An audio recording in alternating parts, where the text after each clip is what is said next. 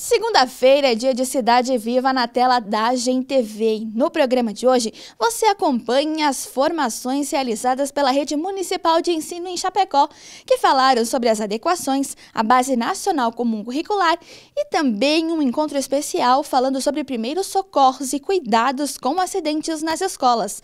Além disso, você também acompanha a reunião regional da FAESC, que debateu assuntos importantes e as demandas da agropecuária da região região.